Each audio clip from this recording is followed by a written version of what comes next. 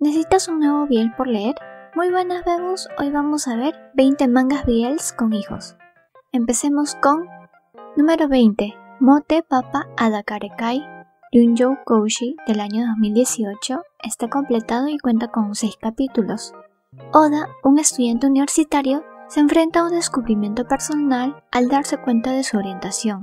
Lleno de curiosidad, busca un encuentro casual a través de un sitio web de citas y se encuentra con un hombre al que apoda Casanova debido a su aparente galantería. Inicialmente planearon tener una aventura de una noche, sin revelar sus identidades, pero sin importar lo que Oda intente hacer, no puede sacarlo de su mente.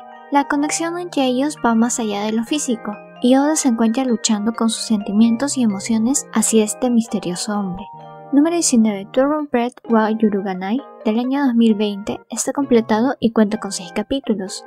Shishidou, conocido como el mujeriego león, y Shiva, un estudiante ejemplar de linaje impecable, tenían una estrecha amistad en el pasado.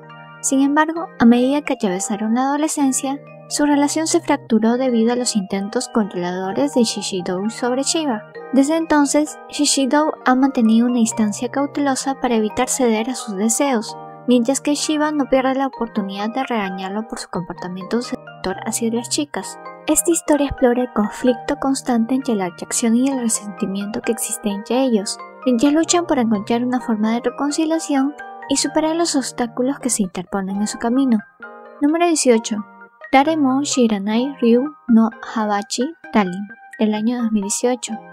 Está completado y cuenta con 10 capítulos. Desde su infancia, Tatsuro ha estado fascinado por las historias de dragones que le contaba su abuelo. Un día, mientras investigaba una marca misteriosa en el bosque, se lastimó y recibió la ayuda de un joven atractivo y peculiar llamado Talin. Para sorpresa de Tatsuro, descubrió que Talin era el poseedor de la marca, y en realidad era un dragón. Talin muestra un interés especial hacia los humanos, y sus ojos deslumbrantes capturan el corazón de Tatsuro.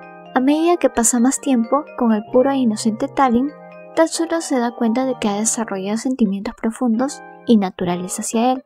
Sin embargo, un día durante una visita rutinaria, algo inesperado sucede con Talin, dejando a Tatsuro lleno de preocupación y preguntas. Número 17. Osumama me quedé embarazado. Del año 2014 cuenta con 5 capítulos y está completado. En el futuro cercano, en un Japón con una tasa de natalidad en declive, se implementa una nueva política para revertir la situación, embarazar a los hombres. Yuki y Ryo son seleccionados como sujetos de un experimento que involucra el uso de medicamentos para lograr que los hombres queden embarazados. A diario, Yuki y Ryo deben mantener relaciones, incluso si resulta doloroso. Su única oportunidad de salir de esta instalación es conseguir un hijo. A medida que avanza el proceso de impregnación, Yuki y Ryo comienzan a sentir una creciente atracción mutua pero el tiempo se agota y su enfoque debe estar exclusivamente en crear un bebé. La presión y la expectativa los desafían en esta historia de amor y reproducción forzada en busca de la salvación demográfica. Número 16. Koubutsu wa Ishiban Seigo Nihara no Naka, del año 2015. Está completado y cuenta con 6 capítulos. Kasui, un chico neko, ansía formar una familia y usa sus feromonas para atraer parejas con las que tiene relaciones. Su vida cambia cuando comienza a trabajar en una agencia de modelos y se encuentra con Noah, un atractivo modelo que siente atracción por él. Mientras tanto, Yone, un estricto manager, se interesa en Ren, otro modelo en busca de reconocimiento. A medida que Yone se involucra con Ren, se sorprende a descubrir que también despierta el interés del joven modelo. Por otro lado, Naoshika, el hijo de Yone, experimenta atracción por hombres atractivos y utiliza sus feromonas para atraer a sus intereses, pero termina atrayendo al gerente de su empresa en varias ocasiones. Número 15. Makoto Sensei wa Yasachi Kunai del año 2015 está completado y cuenta con 5 capítulos. Sugihara Tatsuki, un estudiante universitario, se encuentra en la responsabilidad de cuidar a su hermana menor después de que su madre se volvió a casar. En su rutina diaria, Tatsuki descubre que en la guardería donde deja a su hermana es recibido por un hombre atractivo llamado Makoto, quien es el sensei del lugar. Al principio Makoto muestra una personalidad dulce y tierna, pero pronto Tatsuki descubre que hay algo extraño en su comportamiento. Ahora Tatsuki se pregunta cuál es el secreto detrás de la peculiar personalidad de Makoto Sensei y cómo afectará su relación con él. Número 14. Onjitsu wa Ogihara Moyoku, del año 2017, está completado y cuenta con 7 capítulos. En medio de una disputa territorial entre mapaches y zorros, los conejos quedan atrapados en medio de la guerra. Los zorros divinos les ofrecen protección a cambio de llegarles una novia hermosa. Pero como no hay niñas disponibles para casarse, Rika, el líder de los conejos, decide enfrentarse a los zorros divinos. Sin embargo, lo que Rika no espera es que Shiro, el hijo principal de los zorros, se enamore a primera vista de él. Ahora surge la pregunta de cómo se llevarán estos dos seres tan opuestos, y si es posible que un zorro llegue a amar un conejo. La historia explora los desafíos y las emociones que surgen en esta inusual relación. Número 13. Omega Shunki del año 2017. Cuenta con 6 capítulos y está completado. En un mundo donde el Omegaverse y el caso por calor son una realidad, la historia sigue a Kumo, un perro rescatado por King, un gato, cuya vida se ve afectada por la presencia de Ise, un médico lobo omega. A medida que se desarrolla la llama, se exploran las emociones, desafíos y conflictos surgidos de esta compleja dinámica entre las diferentes tribus. La historia nos sumerge en un fascinante mundo de relaciones y sentimientos entrelazados, donde los personajes deben confrontar sus propias inseguridades y descubrir el verdadero significado del amor. Antes de continuar, si te está gustando el videito, no olvides darle like, suscribirte al canal y darle a la campanita. Continuando. Número 12. Koishite Daddy, del año 2011. Está completado y cuenta con 6 capítulos. Sato es un hombre trabajador y soltero que se encarga de criar a su hijo pequeño, Rintaro, por sí mismo. Después de un evento inesperado comienza a acercarse más a su vecino, Takahashi, un estudiante universitario que le gustan los chicos y que ama a los niños, y se esfuerza por ayudar a Sato en todo lo posible. A medida que pasa el tiempo, Sato comienza a sentir una creciente atracción hacia Takahashi, pero debido a su reciente divorcio decide mantenerse alejado de él para centrarse en su propia recuperación. Sin embargo, esto genera conflictos cuando Rintaro muestra rabietas al querer ver a Takahashi, llevando a Sato a regañar a su hijo con frustración.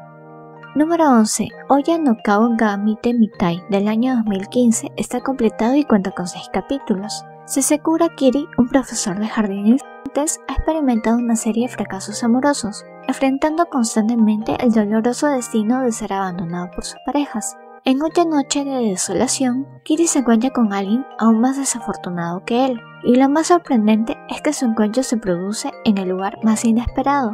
A partir de este momento se desarrolla una comedia romántica entre Kiri, un abogado, un profesor y un niño. Juntos se enfrentarán situaciones hilarantes mientras exploran el amor y las complicaciones que surgen en sus vidas entrelazadas. Número 10.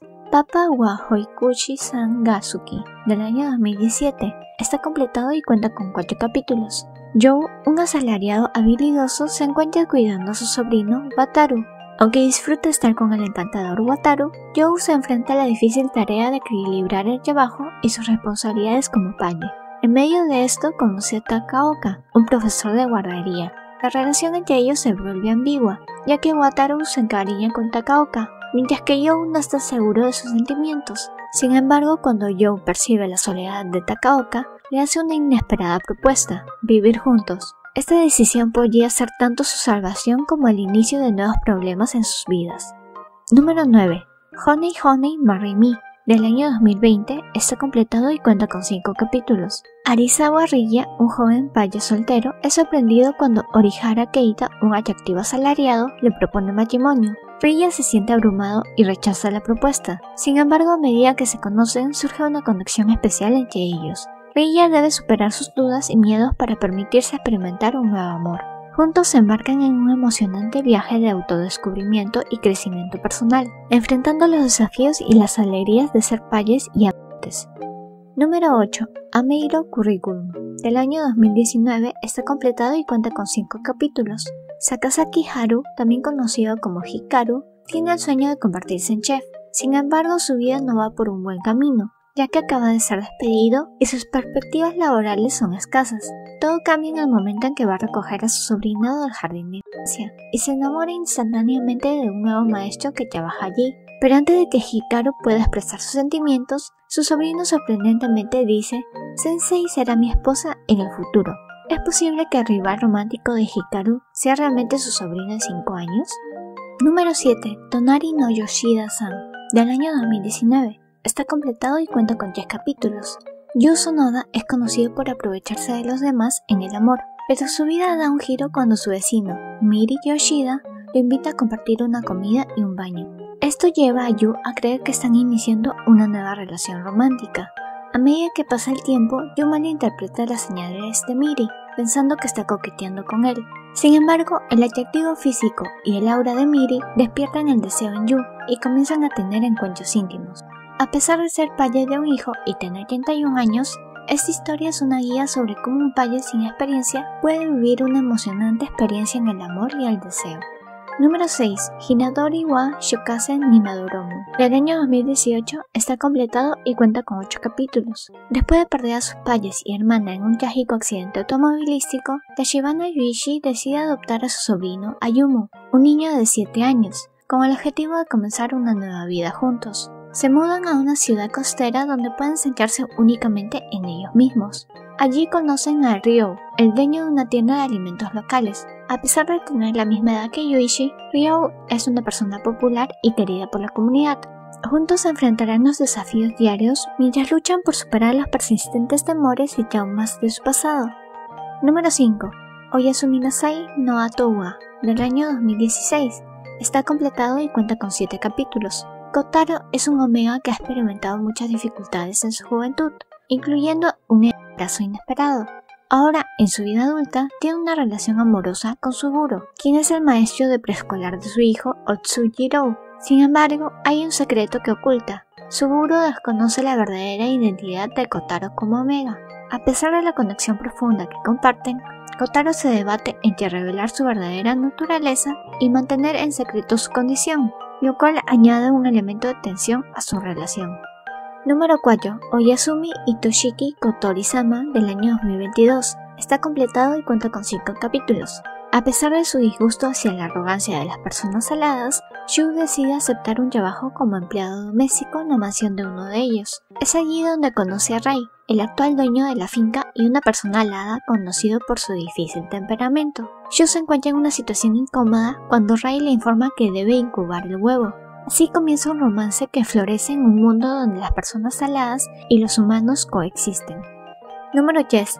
Shinai Naru Omega E del año 2019 está completado y cuenta con 5 capítulos. Mio Karino trabaja como secretario y guarda en secreto el hecho de ser un Omega frente al joven maestro Nagao Keisei, quien no tiene una buena opinión de los Omegas. Aunque se siente avergonzado por la actitud de Keisei, quien desconfía de las personas, Casey también tiene un sentimiento profundo hacia Karino. Sin embargo, cuando se entera de que Karino es un Omega, le ordena que se vaya. Debido a circunstancias difíciles, Karino se encuentra en una situación en la que no puede regresar, por lo que recurre al uso de sustancias prohibidas para forzar su regreso a Casey. Número 2. Kosure Omega Toboku Yakuza del año 2021 está completado y cuenta con 13 capítulos. En un mundo donde el destino tiene un papel importante, Tatsumi, un Omega, cree fervientemente en su llegada. Después de casarse y tener un hijo en ese matrimonio, Tatsumi se ve obligado a divorciarse de su despreciable esposo Alpha, con la esperanza de un futuro mejor. Sin embargo, su vida da un giro inesperado cuando el heredero del clan Yakuza, Ryuga Saraki, entra en escena. Presionado por la deuda dejada por su ex esposo, Tatsumi muestra una determinación audaz que atrae la atención de Ryuga. Este último decide capturar a Tatsumi y a su hijo Riku, dando lugar a una peligrosa y enigmática llama donde el destino y el amor se entrelazan en un juego de poder y supervivencia. Número 1. Torokeru Hodo Nikamaretai, del año 2018. Está completado y cuenta con tres capítulos. Han pasado seis años desde que Takeshi, Alpha y Yoshihisa, Omega, comenzaron su relación. A pesar de disfrutar de una vida juntos, Takeshi, que es una persona seria, parece no estar interesado en establecer una relación formal con Yoshihisa. El Omega se preocupa mucho por el concepto de ser un destinado con Takeshi, lo que lo lleva a descuidar la toma de sus píldoras supresoras de calor y sufrir intensos ardores. La pasión entre ellos se desborda tanto que olvidan utilizar métodos de protección y se entregan apasionadamente al amor.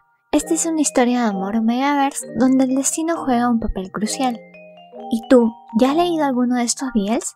No olvides darle me gusta y recuerda que en la descripción tienes los links de todos los BLs mencionados. Una mención especial al miembro del canal Arisa Jung.